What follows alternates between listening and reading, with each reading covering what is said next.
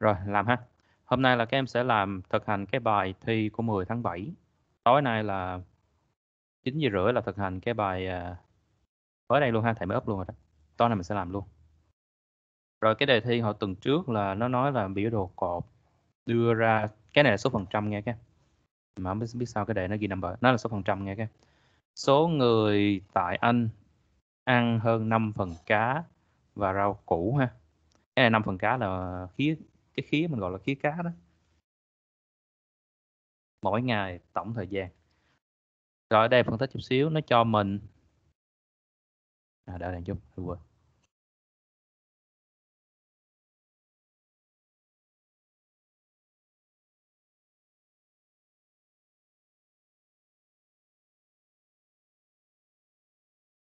Rồi. ở đây nó cho mình ba cái cột đúng không? Ba cái nhóm cột tương đương với lại người phụ nữ, trẻ em và người đàn ông. Nhưng nó có yếu tố theo thời gian. Biến đổi theo thời gian vì vì vậy mình sẽ quy về đường được nha các. Cho nên cái này cách viết sẽ là viết kiểu của biểu đồ đường mình đã học Internet User.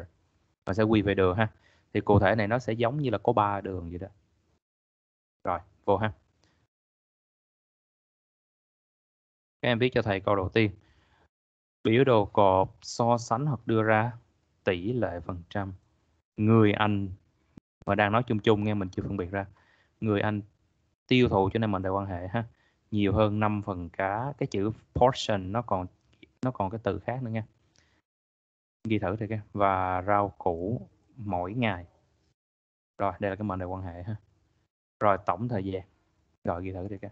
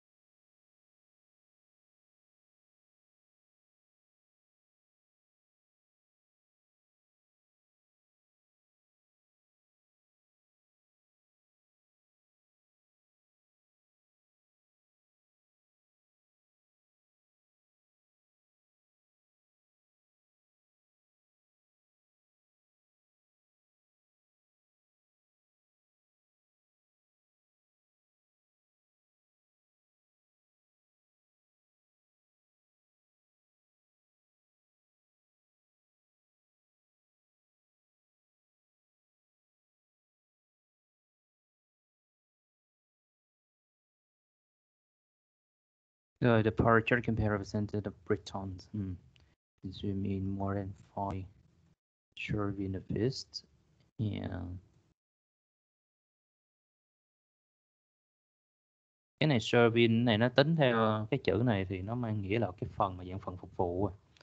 Thì này để thầy sẽ xem lại chữ này. Thì um, ở đây thì các em nên xài cái dạng phần mà dạng là đoạn khúc. Đoạn khúc. Part hoặc là share, share mà nó là share, share, part, portion. Đó mấy cái đó là cái chữ nó sẽ gần nghĩa hơn. Nó sẽ tương đương ý nghĩa hơn. Còn sharing này dạng giống như là chia ra trong nhà hàng của mình. Ừ. ta sẽ kiểm lại chữ này ha. Các em nên xài cái chữ part. Tại chút xuống dưới mình không cần phải nói lại năm phần cá nữa, mình chỉ nói cá với rau được rồi, là ta hiểu rồi.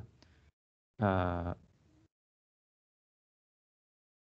Ok, chỉnh lại ha, được rồi. Portion of this rồi, tốt ha. Rồi, xu hướng chung nha các em. Xu hướng chung này mình áp dụng cái bài à, của biểu đồ đường luôn. Ở đây các em thấy nè ha, nó đường của người phụ nữ tăng nè. Nó chỉ có một cái năm giảm thôi, nhưng mà do nó chỉ có một năm cho nên mình tính tổng quát nó vẫn là tăng. Cam, ấy vàng cũng là tăng. Chỉ có cái tím nó là bất ổn nè. Tăng giảm tăng giảm ha. Vì vậy sẽ có ba xu hướng. Câu đầu tiên thì sẽ tương đương cho hai xu hướng nha. It is clear đó nè. Thầy vẫn nói là tỷ lệ à, hai cái đường cái nam và nữ em muốn ghi rõ luôn cũng được hoặc là em ghi hoặc là như thầy thầy sẽ gom nó thành đối tượng là người lớn với trẻ em ha tỷ lệ người lớn là hai hai nhóm người đó ha tại anh nè ăn các loại thực phẩm này đầu chữ rồi nha là tăng ha over the period. Tuy nhiên, rồi cái đường hồi nãy thầy nói là dao động, đúng không? Thầy sẽ áp dụng cái câu là có, mà nếu mà bắt đầu bằng cái chữ có là các em xài, there was. Có sự một sự dao động trong tỷ lệ tiêu thụ của người nhỏ hơn. Rồi, ghi đi các nhớ ghi đúng nha. Dao động in tỷ lệ tiêu thụ của trẻ em hoặc là của người nhỏ hơn.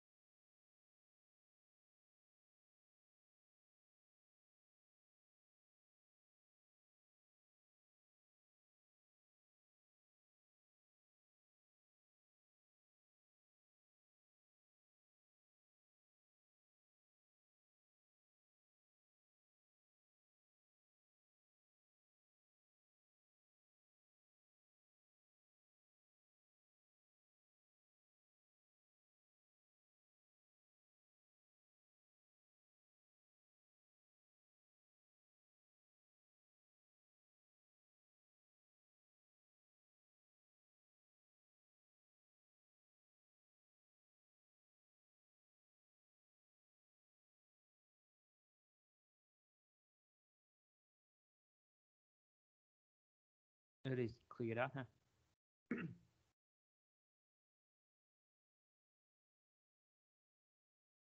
Đây, này quá khứ nha em bé. Eight is food. Kaiser food ha, tại nó không hình như em ghi là Kaiser food.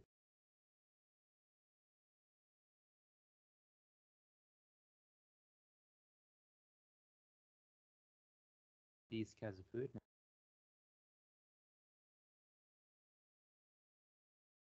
Ờ, quá khứ nè, cái này mình đang thuộc về quá khứ đơn, không có quá hiện tại hoàn thành. Please over the purest trời, There was trời. Cái câu viết sai chính tả quá trời. Ý là sai cơ bản, sai mấy cái lỗi uh, em biết em bị sai gì đúng không? Uh, there were a variant in the percent of people consuming this food. Rồi. Ủa hình như này thầy có phân ra là người nhỏ mà. Percentage of young people, chứ là cái đứa nhỏ hơn. Portion of women and men consuming uh, Yến ơi, cái này là đang sao percentage consuming these types of food increase increase over the period. Uh, there was a fluctuation in the rate of children consumption. The rate up, nữa nghe, ít thiếu dữ vậy. Rồi, it is clear that UK who ate these kinds of food increased. Hai đứa sai giống nhau quá vậy. Over a period so will there was a fluctuation. Này tào lao này smaller, trời này này là kích cỡ em. Ý là nhỏ hơn là nhỏ tuổi hơn á. Younger. Hình như là hai đứa chuyên Anh đúng không? Chú ý nha. Rồi. Rồi. So sánh chung ha. Thì cái này so sánh chung là các em sẽ áp dụng cái cách viết giống như cái bài Live Graph Internet User. Ba đường đúng không? Này như là ba đường, này cũng như là ba đường. Thì thầy có gửi là một á làm giống như cái bài Live Graph của mình. Hai đường trên so sánh với một đường dưới. Hoặc là một đường trên so sánh với hai đường dưới. Nhớ cái vụ này không? Đó, bữa thầy có dạy rồi đó. Thì đây thầy có gửi sẵn cái này các em làm làm ha, tùy các em muốn chọn nào cũng được. Ở đây thì thầy chọn đó là Oprah or much larger percentage. Thầy lấy một đường trên thôi là phụ nữ ở đất nước này thầy đổi chữ sẵn rồi nè. Phụ nữ ở đất nước này. Rồi nhớ là nếu mà xài ở percentage là không nhớ không có dùng mệnh đề quan hệ mà dùng mệnh đề thường. Chọn cá và rau cho bữa ăn mỗi ngày, đổi chữ cho các em rồi đó. Ăn các loại thức ăn này, chọn cá và rau mỗi ngày. Tiêu thụ cá và rau mỗi ngày đó thầy chọn thầy gửi cho các em đổi vậy đó. So với hai đối tượng nam và trẻ em. Còn nếu em đưa cái người nữ, người nam lên đây thì gắn thêm người nam vô ha. Tùy các em, chọn nào cũng được. Làm thử đi các em.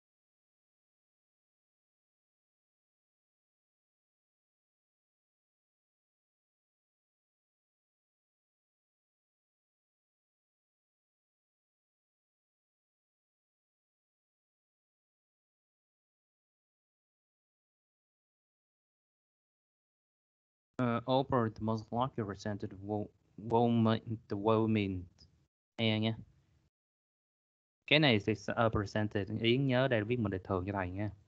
Chose fish and vegetables from every me every à, for meal every day. Cái này thầy mét nha, tại vì nó là trên tờ đếm được. Rồi, đúng. Phượng đâu viết lên em. Over the most likely represented of woman. Quá khứ em ơi, Xuân ơi. Chose first and vegetable for the meals. Ha. Rồi, tiếp tục. Đây câu của thầy ha. Nãy thầy quên. It is clear that the proportion of adults in the UK nè, who ate this kind of food increase over the period so. Rồi, hồi nãy thầy chưa giảng mấy câu này ha. There was a fluctuation in the rate of younger people là trẻ em nè, consumption. Rồi overall, a most likely represented women in this country thì tỏ chữ rồi đó. Mọi đề thường chose fish and vegetable for the daily meals. So với men and children. Rồi giá trị của năm đầu tiên. Dễ nè, các em làm thử luôn. Đầu tiên liệt kê giá trị của năm đầu quen quá ha. Đầu tiên các em sẽ đưa ra giá trị của đối tượng cao nhất trước. Rồi sau đó em sẽ nói được figures for hai đối tượng còn lại thấp hơn nè. Bao nhiêu bao nhiêu respectively. Nhớ không? Thầy nhắc lại hai cho bạn nào quên. Liệt kê giá trị của năm đầu tiên dùng yếu tố so sánh để nói. Cụ thể đó là liệt kê giá trị của đối tượng cao nhất trước. Uh, rồi sau đó em sẽ nói the figure for hai đối tượng còn lại là thấp hơn. Vậy thì hai thằng mà thấp hơn một thằng là so sánh nhất đúng rồi. Hiểu ha? Rồi đây cô gửi nè. Để kê giá trị của năm đầu tiên so sánh này ha. Năm 2001 tỷ lệ phần trăm. Câu đầu tiên vẫn ghi cơ bản ha. Tỷ lệ phần trăm nữ tại Anh nè. Ăn hơn 5 phần cá và rau xanh một ngày nè. Mỗi ngày là một ngày đúng rồi. Là 20%. Số liệu cho hai đối tượng còn lại là nam và nữ. Thấp hơn, ở mức nè ha, tại mức là 17 và 10% respectively. Ghi đi các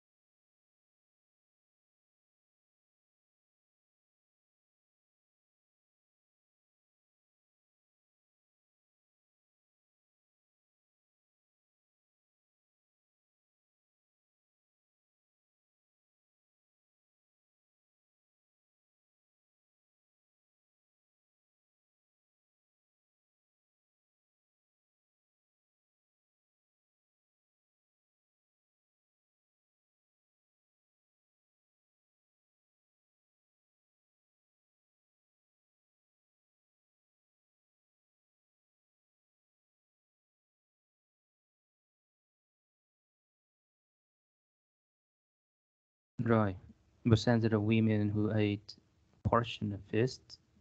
Mấy cái số này thì em nên ghi chữ nha Phượng ơi. Mình chỉ có số liệu với năm á, ghi uh, số nha. Tốt nhất là vậy. The figures for women were gì vậy?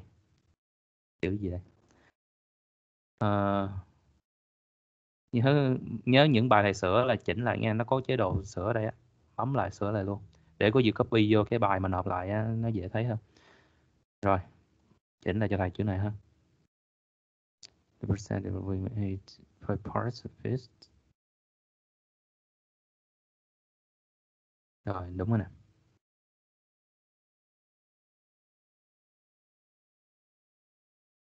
UK nghe England là khác nữa nghe. em. Ừ. In the UK đang nói về vương vương quốc Anh mà chưa phải là nước Anh đâu. Just consumed cái serving này để thầy coi lại nghe thôi. Tại vì nó mang tính chất là phần mà dạng là phần món, phần phục vụ á. Còn đây đang nói là năm khứa cá, thấy không? Phần đây là khứa khứa cá. Nó nói tính theo lượng khẩu phần thức ăn. Em nên em ghi là parts ha, parts hoặc là shares. Was 20% quá khứ nha. Rồi. Câu của thầy nha.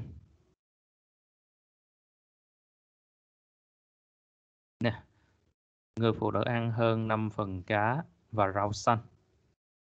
Tỷ lệ phần trăm người phụ nữ ta ăn ha. Ăn hơn 5 phần cá và rau xanh nè. Một ngày này là 20 phần trăm. Số liệu cho nam và trẻ em thấp hơn. Ở đều ở mức là 17 và 20 phần trăm respectively. Rồi, tiếp tục. Ở đây thì mình sẽ nói đến điểm giữa giai đoạn. Thì em sẽ chọn cái chu kỳ giữa giai đoạn, em chọn chu kỳ nào cũng được theo yếu tố là em sẽ nhìn miễn trong đây có một đối tượng có một cái đối tượng có sự nổi bật là được. Thì các em nhìn thử ha miễn là có uh, mình dựa theo cái sự nổi bật của giống như đường vậy đó mình sẽ dựa theo sự nổi bật của cái đối tượng nào đó. Mình lấy ra mình nói và những đối tượng còn lại sẽ đi theo ha. Lấy ra để mình nói và đối tượng còn lại sẽ đi theo ha. Cụ thể em nhìn nè từ năm 2011 đến 2013 thì nó đâu có gì nổi bật đâu đúng không? Cả ba đối tượng nó cũng không biến đổi gì mạnh hết. Tới đây thì bắt đầu có rồi ha em chọn 24 cũng được. Nhưng đối với thầy thầy sẽ chọn 26 nó sẽ nổi bật hơn. Bởi vì với lại nếu à, bởi vì 26 nó có đối tượng màu cam này là đạt đỉnh điểm. Biết cái vấn đề đỉnh điểm đúng không? Nghĩa là tăng lên cao nhất cao nhất rồi giảm tăng lên cao nhất rồi giảm. Thì đây là đỉnh điểm. Rất là nổi bật ha. Tại vì nếu em nói 14 rồi thì cũng phải nên nói tiếp 16 tại 16 nó rất là nổi bật.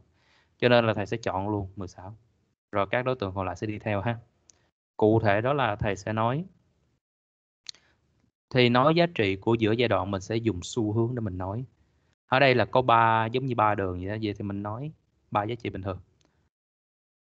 Đường màu cam, nó có một cái gì nè? Nó không có tăng thẳng lên ha. Mà nó có giai đoạn ổn định 3 năm đầu tiên, sau đó nó mới tăng. Vì vậy là mình sẽ nói xu hướng của đường màu cam theo hai cái ý nối tiếp là đường màu cam này sẽ ổn định cho tới năm 2013 và tăng lên đỉnh điểm. Tại vì mình phải khai thác, nó cũng một nửa giai đoạn rồi, mình sẽ khai thác được cái này ha. Rồi còn mấy đường còn lại dễ lắm trong khi đó thì đường màu vàng nó tăng. Mặc dù ở đây nó giảm xíu kệ nó không sao mình vẫn ghi nó là tăng. Tăng. À, và đường tím là bất ổn nhẹ bất ổn là tăng giảm tăng giảm bất ổn nhẹ. Rồi các em coi câu thầy nè. Liệt kê giữa chu kỳ ha dùng xu hướng. Thì ở đây thầy sẽ không dùng quen ha các bên bài biểu đồ đường internet user thầy có nói. Ở ý này thầy sẽ không dùng uh, the percentage the proportion nói về số liệu nữa mà thầy sẽ dùng sự việc bắt đầu sự việc việc tiêu thụ các em có cần là ghi tiêu thụ cái rau nữa tại trên mình nói rồi. Nên mình rút gọn được ha. Việc tiêu thụ của những người nữ này ha ở cư dân nữ này. Cái này em muốn ghi ọp cũng được. Nếu em ghi chữ của cũng được ha có nghĩa là ọp còn nếu như ghi của thầy là ở, là cái chữ biết em biết chữ among không? Among việc tiêu thụ ở những người nữ này. Cái nào cũng được nha các duy trì một mức tương đương. Duy trì nè, một mức tương đương. Hoặc là cái dòng này em có thể sử dụng cái, một cái ý nữa đó là ổn định. Việc tiêu thụ ở cư dân nữ ổn định, là ổn định cho đến năm 23 các em chọn cái nào cũng được nha. Nếu mình dùng cái ý là ổn định là ổn định thì cái chữ ổn định nó là tính từ đó. Vậy thì sẽ là were gì đó.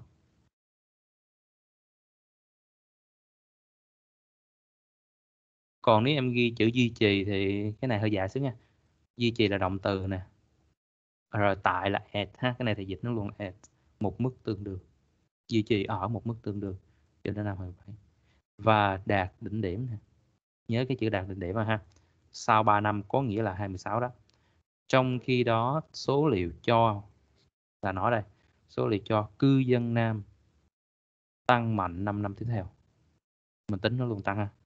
Rồi còn cái câu của thằng thứ ba ghi riêng tại vì thường nếu mà mình đưa hai ý mình dùng liên từ whereas uh, tuy nhiên trong khi là hai câu được ha. Còn nếu mà câu thứ ba thì tách nó ra cụ thể đây là một cách rất cơ bản luôn ha. Tách nó ra, mình liên kết bằng những cái từ như là tuy nhiên lần nữa, however, hoặc là cái chữ meanwhile meanwhile á, mà nào biết chữ đó ghi thử ha.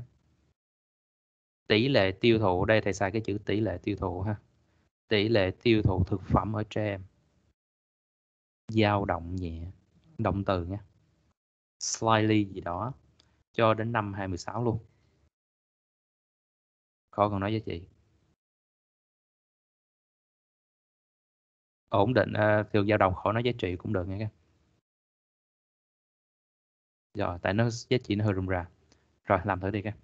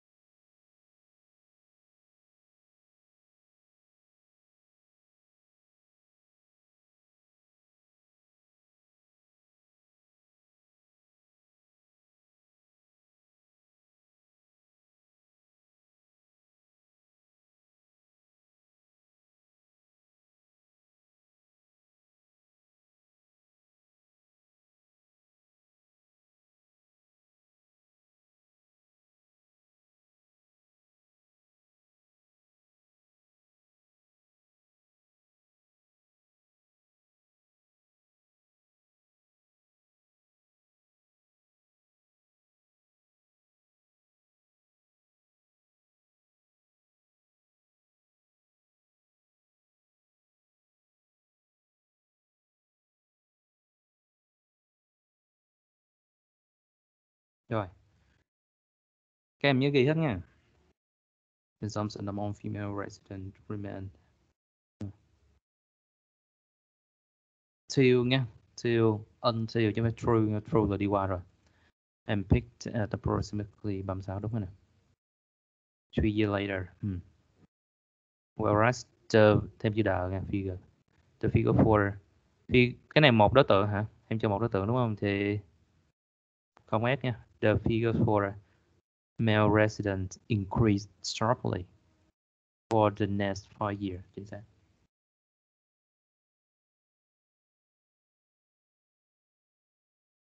Ghi hết đi các em.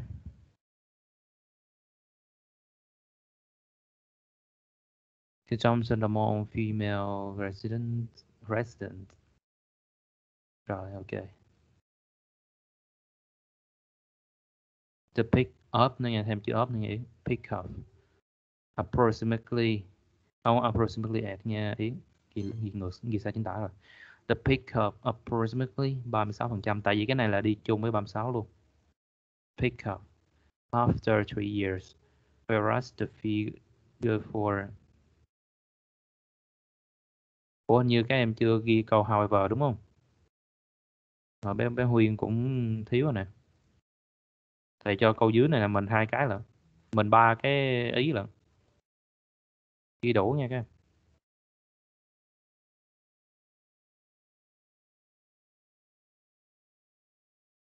The figure for men strongly increased. Figure một chữ thôi nha, tại nó là một số liệu tăng giảm á. Uh, for the next five years. Rồi còn bé Phượng đâu? Rồi, ủa sao cái- hình như lo máy tính hay bị thầy quên thầy không thấy cái tên. Uh, consume, consumption among female resident. Đúng rồi nè. Rồi, ok chính xác. Rồi, câu của thầy ha.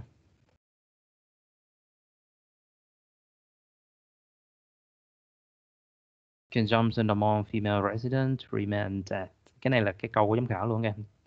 A similar levels until 23 and reach a peak of 36% sau 3 năm. Whereas the figure for male resident rose strongly for the following five years. Rồi, tuy nhiên ha, nãy thầy nói đó, tỷ lệ có thể saturate được nè, tăng giảm nó sai được chữ ray bình thường nè. Would use it. Thay cho cái chữ consumption nè. Among children fluctuated slightly till 26. Until till đó. Rồi, xong. Câu cuối, body 2 luôn ha. Giá trị cuối thì như thầy nói của ông bà Lý Thuyết là giá trị cuối này em có thể dùng xu hướng hoặc so sánh đều được. Nếu xu hướng nữa thì thầy nghĩ nó vẫn là ba câu. Ba ý ha. Giảm trong khi đó tăng rồi câu riêng cho thằng này đó là thằng này thì thay vì hồi nãy mình nói nó là bất ổn đúng không? Bây giờ nó là ổn định. Còn nhưng mà ý này thì thầy sẽ xài so sánh giống giám khảo tại vì từ cái năm 2016 đến 27 nó biến động không nhiều nữa. Vì vậy là à, thầy dùng so sánh luôn ha. Đó là đầu tiên cũng là ý tưởng cũng giống như 21 nhưng mà nó sẽ khác cách tí xíu ha. Đầu tiên là sẽ khẳng định đối tượng nào đứng nhất trước, cụ thể đó là tỷ lệ phần trăm của người phụ nữ là cao nhất. Rồi mình sẽ nói ra bao nhiêu phần trăm người phụ nữ này à, tại Anh ăn cá và rau mỗi ngày so với bao nhiêu phần trăm của các đối tượng còn lại. Đây. Liệt kê giá trị năm cuối cùng ha, dùng so sánh hoặc xu hướng nè. Năm 27 tỷ lệ phụ nữ à, vẫn duy trì cao nhất ha. Tại vì nó cao nhất từ từ đầu rồi tại Anh. Rồi sau đó mình sẽ đưa ra là bao nhiêu phần trăm nè. Chính xác 30 phần trăm. Hay em ghi 30 phần trăm thôi cũng được. Phụ nữ sử dụng cá và rau mỗi ngày. Thầy để cái vế mà sử dụng cá và rau cho cái vế cho cái câu mà liệt kê giá trị ha. Nhớ là câu này là viết mà đề thường nha. Nó giống thầy nhắc lại là nó giống như a percentage vậy đó. Nhưng mà thay vì các em ghi uh, percentage thì mình sẽ ghi số phần trăm luôn. Rồi phụ nữ bình thường sử dụng cá vào mỗi ngày. Compare to nè, nó giống như in comparison with bao nhiêu phần trăm nam và bao nhiêu phần trăm à, Chị em. Đồ chữ rồi đó. Câu cuối nè, xong rồi đó nghe. Câu cuối này đi, và bắt đầu, à, nghỉ ngơi xíu chuẩn bị bài tiếp theo. Hôm nay các em giải được 3 bài thi luôn á, tối học thêm lớp nữa là giải đủ 3 bài thi luôn á. Bữa giờ là là coi như bữa giờ giống như mình học like craft thôi đó. Nó giống như like craft.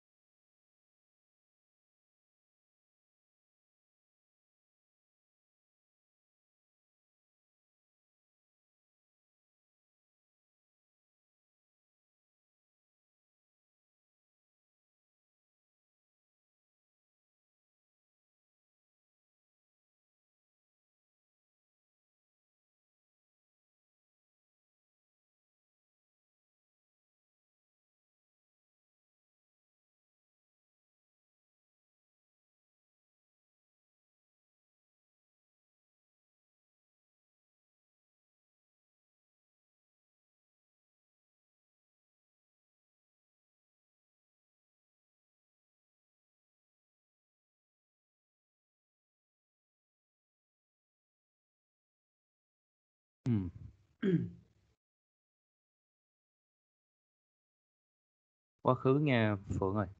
Quên hoài vậy em. Consume fish and chip rồi, đúng rồi đó. Remain quá khứ xuân rồi UK như biết hoa nha. Tập làm quen coi chừng quên vô thi quên. Ọp vô nghe còn trăm đi chung với ọp ọp ờ.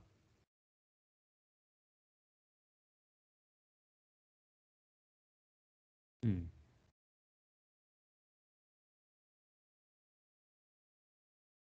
rồi không có words maintain nghe nó là, maintain nó là động từ. Ờ, động từ ờ, thường thôi. Cho nên em kia ghi là maintain. Maintain á. Maintenance maintain. Let me đi vô maintain. Maintain the highest. Thôi nó giống như không cần ghi add nhé duy trì mức cao nhất. Duy trì cái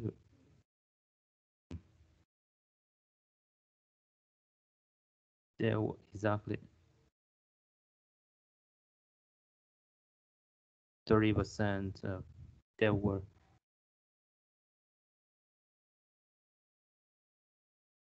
À, em ghi đe hả? Nếu mà đe thì cái này woman vẫn là đếm được và theo dạng là nhiều người. Phần trăm nhưng mà vẫn là nhiều người. Nè, em vẫn ghi nè. There were who ate fish and chips every day compared to just over of men and of young children. Rồi đúng rồi đó. Xong ha, câu của thầy nè.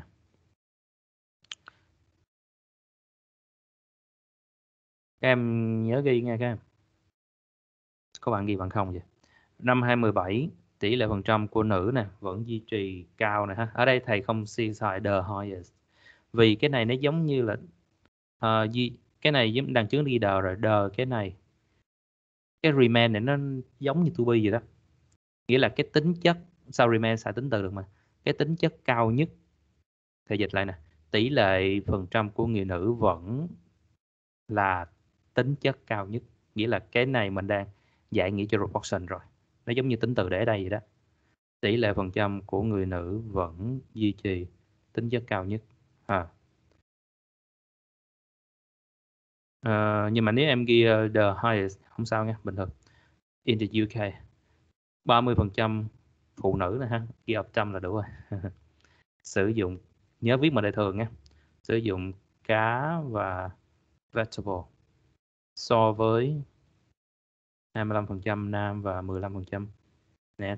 Thay đổi từ vựng sẵn rồi đó. Young age citizen là người nhỏ thì nếu mà so với uh, nam và nữ ở đây thì nó là children. Ha. rồi. Qua để thầy coi.